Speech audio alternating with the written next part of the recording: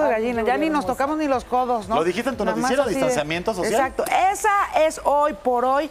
eh, y además, digo, tuvimos buena suerte en esta ocasión porque hace 10 años México fue el país, este, el país emisor de la pandemia, ¿no? Aquí empezó H1N1 eh, y pues nosotros le servimos, digamos, como eh, el mundo se iba enterando cómo íbamos enfrentando esa emergencia eh, y pues iban tomando también sus debidas Claro. medidas, ¿no? Aquí afortunadamente no fuimos el país emisor y nos llegó tardíamente comparado con países como Italia o como Francia y en realidad todos los europeos, los asiáticos también.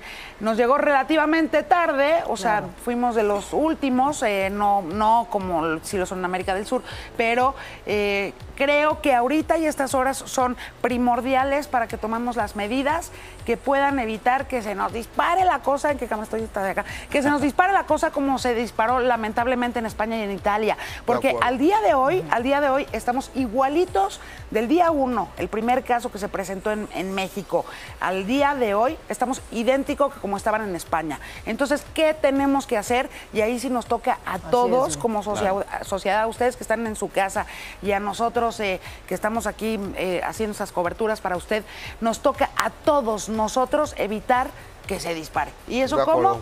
Pues ya, ya lo sabemos muy bien, ya nos lo han dicho las autoridades tanto de la OMS como las de salud aquí en nuestro país. Lavado compulsivo de manos, muchísima higiene, muchísima higiene. O sea, como si estuviéramos loquitos, sí, no importa, no importa. Mínimo 10 veces al día, cuéntelas, cuente las veces que se lava usted las manos y distancia social. Así es. Nada de besos, nada de abrazos, nada. Ya, como no, ya habrá tiempo, ya habrá tiempo Así y nos vamos, nos vamos oye, a Yuri, a ver, abrazar. yo tengo va- varias preguntas. Sí. Una, ¿hay clases mañana? ¿Hay clases en la Ciudad de México mañana? En algunas escuelas sí, en ¿No, otras ¿no no. te parece muy lógico? Yo creo que yo creo que esas son de las medidas que se, se debieron haber tomado quizá desde la semana pasada. Eh, afortunadamente ya se tomaron. Se tomó también la medida de suspender ya, esta es una muy buena noticia, suspender ya la representación de la Pasión de Cristo Ah, claro, en sí. Iztapalapa. Que bueno, muchas felicidades a la jefa de gobierno Claudia Sheinbaum por decir y también a la, a la alcaldesa Clara Brugada por decir no, Oye, no nos la vamos a jugar. pero va a ser- no vamos va a tener ser otro en caldo de privado, ¿no? como- sí, va a ser a puerta cerrada. cerrada, sí. Van a tener unos actores que van a representar a la pasión, la pasión de Cristo, la tradicional allá en Iztapalapa. Yo digo, así como, como dice Dios, ¿no? Ayúdate que yo te ayudaré. Entonces, pues Así hay es. que empezar por ayudarnos a nosotros mismos, ¿no? Y la mejor manera de recordar o festejar estas fechas, este, a quienes así lo hagan, pues es justamente el famoso ayúdate que yo te ayudaré. A mí no me queda claro qué pasó con el empresario que venía de Bale, José Curi. ¿Lo dan por muerto y luego revivió?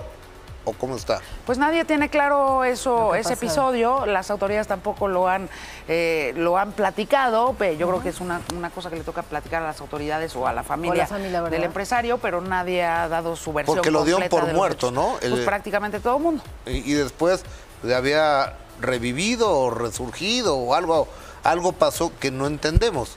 Que sí nos gustaría saber, ¿no? Pues sí, ahí yo creo que le toca tanto a las autoridades como a la familia darnos la versión de lo que ocurrió. Y ojalá, ojalá este no, Sí. no tengamos eh, mayores. Oye, Yuri, en tu noticiero está viendo que tuviste una entrevista con un doctor. Es correcto. ¿Qué lo, eh, ¿Nos podrías repetir qué es lo, eh, lo principal que recomendó, o sea, en cuanto a no hacer tanto caso a la desinformación y no recurrir a la histeria para que el público obviamente lo tenga bien recalcado? Sí, por supuesto, eh, tomar con muchísima precaución todo lo que se lee en las redes sociales, Sobre porque hay mucha, mucha desinformación, muchos fake news. Eh, claro que ahorita se está tratando de entender frente a qué estamos, qué virus es este, eh, cómo se va a parar, cómo no se va a parar, cómo se comporta, qué medicamentos sirven ahorita de manera comprobada este, Claro. y cuáles no, este, ser muy precavidos y ahí es donde hay que ser muy prudentes, muy prudentes y, y hacerle mucho caso a las ¿Y qué autoridades. es lo que hace en nuestro cuerpo, no? Saber y tener ese Por aquí tenemos una notita, fíjate, lo preparamos, tenemos una notita de exactamente, eso sí ya lo saben eh, los científicos del mundo, los doctores del mundo, qué es lo que le sucede a nuestro cuerpo cuando quedamos expuestos a COVID-19, cuando pues, nos contagian.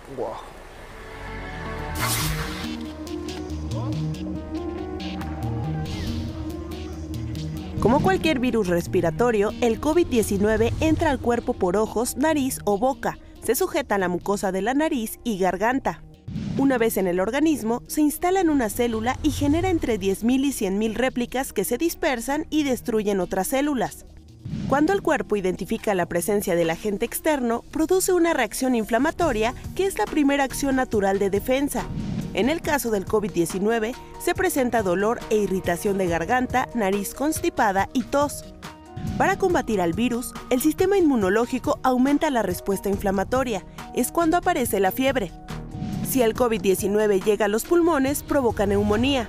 El paciente tendrá complicaciones para respirar. Y si la respuesta inflamatoria es alta, podría presentar congestión en los órganos respiratorios. Además de los daños en el sistema inmunitario, esta nueva cepa de coronavirus también puede causar efectos coronarios, hepáticos, renales o sanguíneos, como consecuencia de una sobrereacción de defensa del organismo. Algunos pacientes han presentado diarrea y dolores abdominales, pues el virus ha llegado al sistema digestivo. Al momento, se ha documentado que 8 de cada 10 enfermos han presentado síntomas leves. Solo uno de 10 ha llegado a etapa crítica. Para imagen, Daniela Martínez. Ahí está la Oye.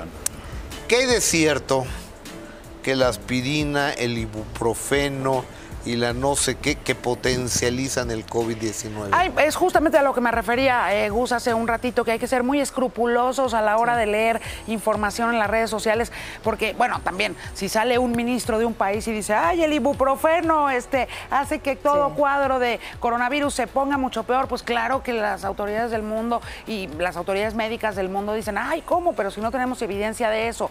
Entonces, en, en las horas posteriores a esa declaración de un ministro en Francia, eh, lo que sí salió la, la comunidad médica a aclarar es que eso es un fake news, es una mentira. O sea, el ibuprofeno no altera y no agrava el cuadro eh, de coronavirus. Lo que sí se ha comprobado es que el paracetamol es mejor para tratarlo que el ibuprofeno. Que el ibuprofeno. Pero el ibuprofeno no va a hacer que te pongas peor, ¿no? O sea, Oye. digamos, para no caer en una bola de nieve de desinformación. Claro.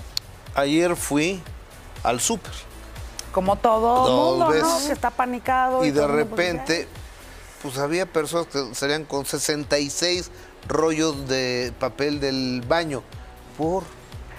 O sea, pa- pa- ¿para qué? Más allá del chiste Pero eso es, que todos sí, eso es conocemos. comportamiento económico, o sea, de comportamiento psicolo- de psicología de la economía más elemental.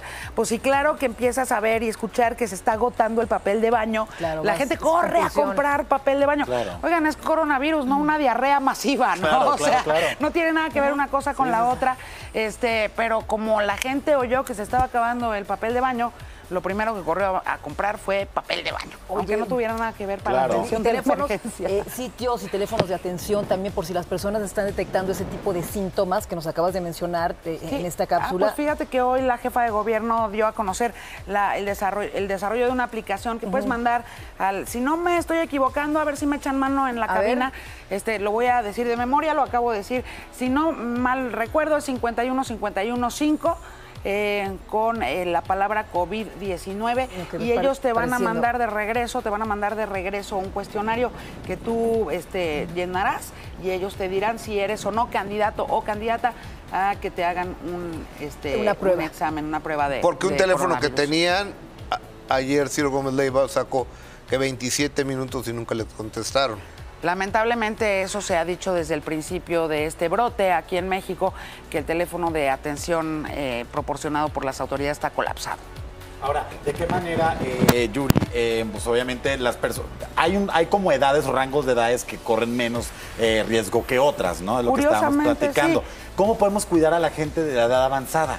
Pues yo creo que con, como los deberíamos de cuidar siempre. sí. Eh, qué, qué relevante además que sea una pandemia la que viene a ponernos el corazón donde tiene que estar, que es en nuestros adultos mayores, porque luego, No luego se nos olvidan, ¿no? Luego se nos olvidan. Entonces, pues está triste que coronavirus nos venga a recordar que son importantes nuestros abuelitos, Claro. nuestras abuelitas, nuestros papás, nuestras mamás. Claro, claro. Todas las personas mayores de 60 años son particularmente vulnerables eh, y pues son quienes más cuidado deben de tener, sobre todo con este tema del aislamiento social. Ok, si los vas a ir a ver, tienes que estar hiper seguro de que tú no estás, que tú no estás, Que tú no estás- expuesto, no evitar, llevarlos, no eres un vector mejor. de contagio, pero sí hay que estar hablando con ellos por teléfono y darles muchísimo cariño y estar muy pendientes de cómo se están sintiendo todos. Claro. Exacto. Oye, yo- y yo creo que ahora también, en estos momentos, tenemos que estar muy pendientes, mucha gente está muy pendiente del discurso del presidente Andrés Manuel López Obrador. ¿Cuáles han sido sus Porque mira, recientes sí. discursos frente a esto? Justo como es una la población más vulnerable en esta pandemia es la población de adultos mayores, justamente por eso y sobre todo si tienen algún padecimiento crónico previo, si tienen hipertensión, si tienen diabetes, si tienen alguna enfermedad este eh, que sea que sea de estas que son inmuno ¿Cómo se llaman? Las- inmunológicas. Inmunológicas, sí. Este, Inmunodepresivas. Inmunodepresivas. eh, todas estas enfermedades que son crónicas, hay que estar muy, muy pendientes si han tenido complicami- este, complicaciones eh, cardiovasculares. Entonces, el presidente López Obrador pues tiene 70 y, échenme la mano también, 60 y algo, ¿no? 66 hoy. 66 años. Este, pues es, eh, y ha tenido, ya tuvo un infarto Claro. y además sufre de hipertensión, pues es una persona, es una persona Sí, que sí. pertenece al grupo más vulnerable. Y la verdad, pues es que ayer estuvo complicado el tema de la mañanera, en donde todavía el secretario, el subsecretario de salud, este, dijo, bueno, pues es que su fuerza moral no lo convierte Sí, sí, sí. en factor de contagio. Yo creo que hay que poner al presidente, como a todos los adultos mayores y como a todas las personas en realidad, hay que ponerlo, por supuesto, no en las mismas condiciones que todos, claro. por el suyo y por el de todo México, porque al final es el titular del poder Sí, ejecutivo, sí, es el presidente de este país y tiene que estar sano para seguir gobernando, ¿no? Este, entonces, pues eso ha estado complicado y yo creo que ya, ya el presidente como que le va a entrar al asunto y va a empezar a Ah, bueno. Obedecer bueno. porque es importante que cancelar, todos El domingo, el domingo en la noche, Ana María Alvarado venía de Acapulco en vuelo, no voy a decir la, pero con B chiquita, así de bo. Entonces ahí venía el presidente. Entonces ella lo grabó, transmitió en vivo y demás, dando besos y abrazos domingo en la noche. Presidente, no lo haga, por favor, de veras no lo haga. Yo creo que tanto el presidente Andrés Manuel López Obrador, como Gustavo Adolfo, como Mónica, como Mitch, como su servidora, como ustedes que nos ven en, en sus casas, todos somos de carne y hueso, todos, todos podemos eventualmente convertirnos en portadores o contagiados de coronavirus y nos tenemos de veras que cuidar al extremo, presidente, cuídese. Y bueno, finalmente parece que ya, ya agarró la onda y ya va este, a empezar a obedecer, porque luego no le gusta obedecer al presidente. Pero esto fue lo que dijo hoy en la mañana. nada más pedirle a los ciudadanos de Oaxaca, en esta ocasión me reúna solo con los pobladores de Guelatao. Esto para eh, no dar pie a los cuestionamientos de que el presidente no está dando el ejemplo o no se cuida. Todo esto, ¿no? Que utilizan nuestros adversarios, que este, se vean obligados a inventar. Yo digo, no somos ¿cómo sus adversarios, presidente, no somos sus adversarios. O sea, se lo pediría a mi abuelito, que lamentablemente ya no vive, como se lo pido también a usted, presidente, no se ponga en riesgo, por favor. Y se lo pido de- en realidad a todas las personas que nos están viendo, sobre todo si son adultos mayores, no se pongan en riesgo, por favor. Así es, y fíjate, yo les comentaba, Yuri, hace ra- rato que eh, eh, acerca, por ejemplo, del Vive Latino y este tipo de situaciones con, con nuestro presidente en estas visitas y en estas giras eh, han sido noticia a nivel mundial, donde la gente Lamentablemente. lamentablemente está viendo a, a- a nuestro México con una falta de desinformación. Pues sí, y como un país que, habiendo sido uno de los países más responsables en la atención de una epidemia como lo fue con H1N1, pues ahora dicen, ¿qué les pasó? ¿Qué les pasó? ¿Por qué están tomándoselo tan a la ligera? ¿Sabe qué? Es momento de que entre todos dejemos de tomárnoslo a la ligera porque es su salud y la nuestra, pues es también, y en primerísima instancia, nuestra responsabilidad. No, bu- bueno, eh, eh, es que ver el Taj Mahal, el, el- el Museo del Louvre, eh, di- digo, cosas emblemáticas cerradas, ver Times Square vacío, la ciudad del nunca dormir, totalmente dormida, donde los teatros cerraron sus puertas, donde la, La industria... ópera de Nueva York, todo, este, todo, todo, todo, Hollywood todo totalmente cerrado, cerrado, cerrado. Disneylandia, los estudios Universal, aquí en México, pues yo creo que la gente, yo estoy muy atemorizado, Claro. muy atemorizado. Bueno, el temor, el temor es un buen filtro, un buen primer filtro, porque va a hacer que nos cuidemos. No hay que caer en efecto en, en- en pánico, eh, en- y- e incluso si nos contagiamos, porque dicen los expertos que sí nos vamos a contagiar todos en el mundo, ¿eh? 80% es probable que en algún momento nos dé coronavirus, Y- y pero en que nos México- y en agarre México- bien, bien puestos. Eh, en México, ¿cómo es esa curva de, con curva de contagio? Pues tenemos una notita, la vemos.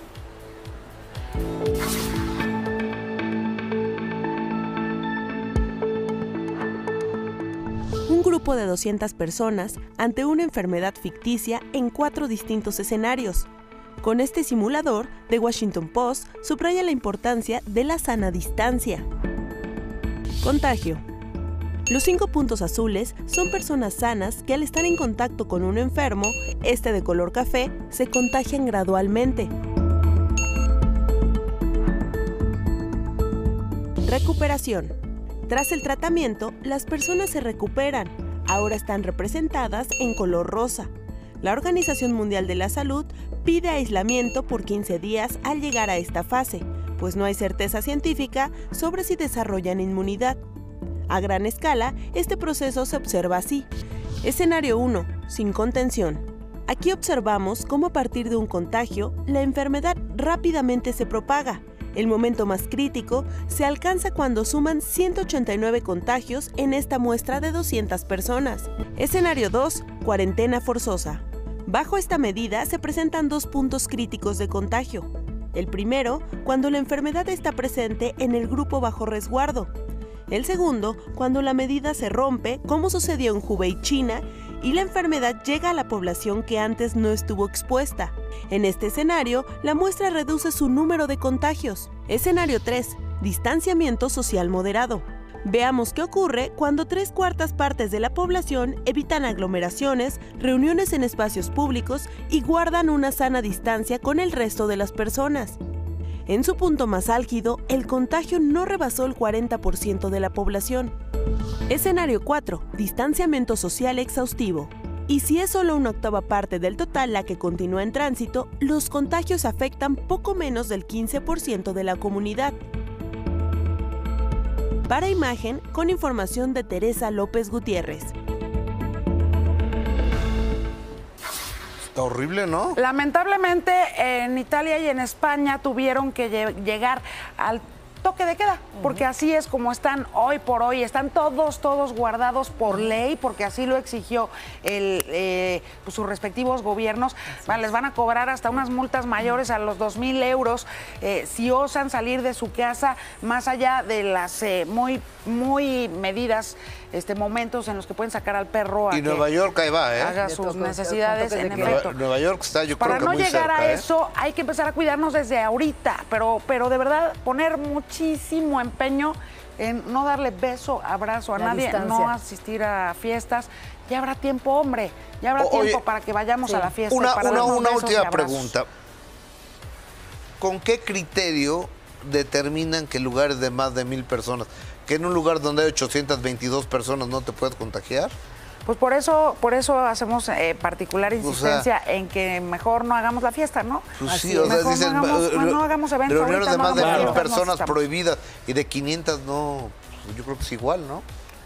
Pues sí, en efecto, a reducir a esto mínimo. Exacto. Así Oye, Yuri, otra pregunta. Cuatro en una sala, cuatro como Cla- estamos claro, aquí, ya somos claro, un- claro. una multitud casi. Y no le cambien la imagen televisión. No, pero fíjate, es que este programa lo ven muchas madres de familia y tú como periodista has estado en contacto con especialistas de este tema, ¿no?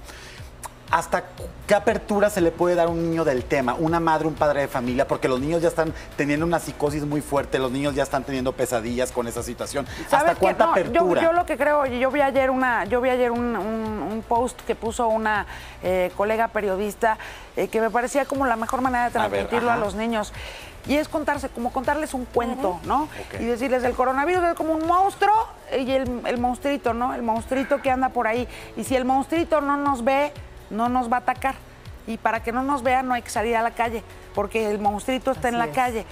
Y para que no nos vea no hay que abrazar ni besar a personas desconocidas, ¿no? O este Oye. o conocidas, pero que no hemos bien. visto. No, Yuri, contárselos un como poco- un cuento, que no nos vea y así no nos va a agarrar. Un poco el principio de la vida es bella. Es correcto. Un poco hablando de cine. Gracias, Yuri, por estar aquí, amiga. Al contrario, Gracias, gracias por invitarme.